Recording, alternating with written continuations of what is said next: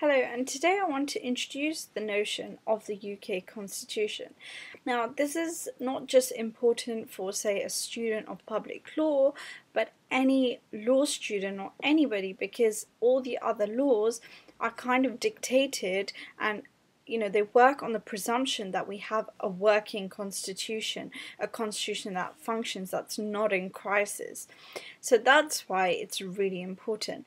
Now, before we can look at what exactly is the UK constitution, we kind of have to go through what is a constitution in the first place. So, how shall we explain what is a constitution? Well, my favorite definition thus far I've found um, originates in the working definition provided by the House of Lords uh, Constitution Committee. It's the first report, 2001 2002, is available on the website. And if you go in uh, on that report, and if you go to chapter 2, you'll see paragraph 20. Um, the working definition. So, this is after all the politicians give their different definitions this is what the um, select committee uh, chooses to be their working definition. And it's a beautiful definition, and I'm going to read it out very slowly.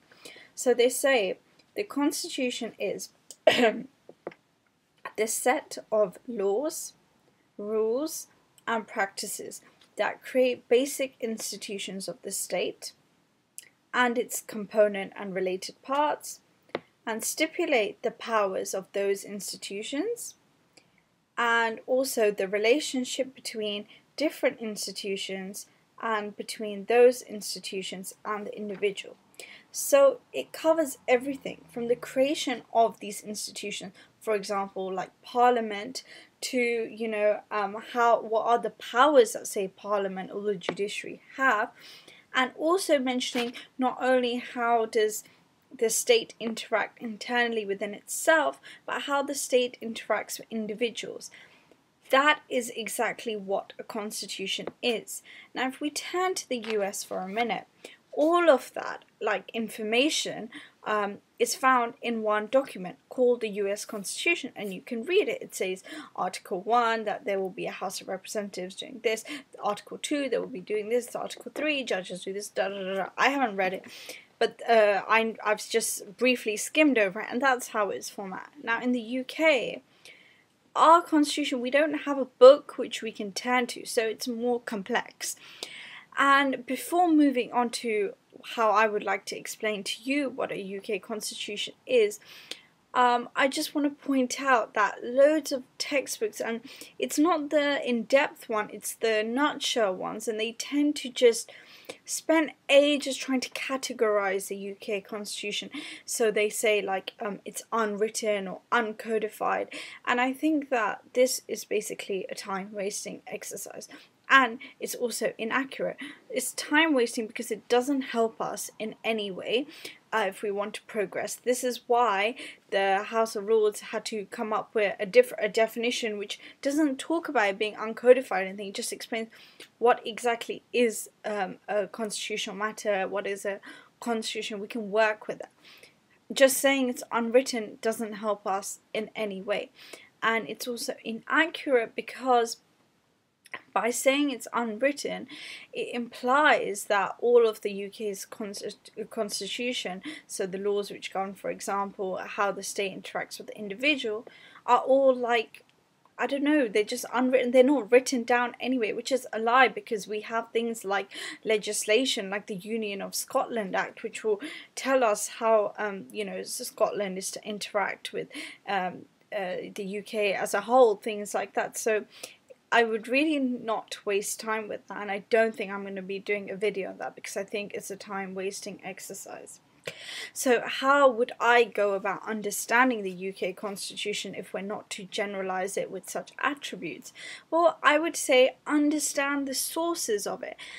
And by sources, I mean where we can find the information on um, the UK Constitution. So where we can find information about how much power does Parliament have, how does a Parliament interact with individuals, and I've set out, um, sorry, I've set out six sources um, that we can look at um, to understand how exactly uh, the UK Constitution works. So the first source um, is the Cabinet Manual 2011. It's a relatively new document, and essentially, what it is is a document which describes the current uh, laws and status of the UK Constitution. So, what is happening?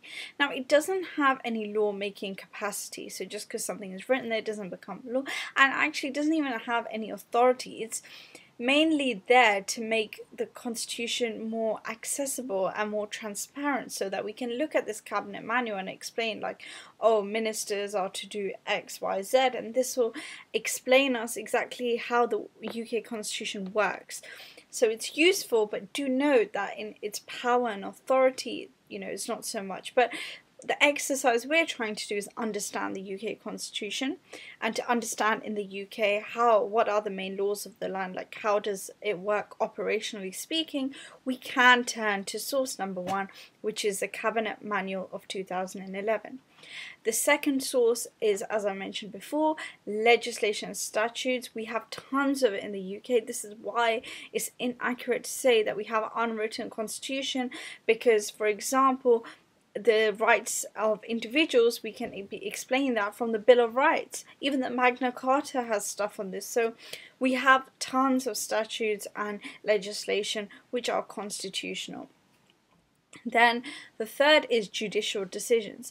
Now remember, we're a common law um, legal system, and the thing is, usually, like we're taught as law students that always legislation takes precedence.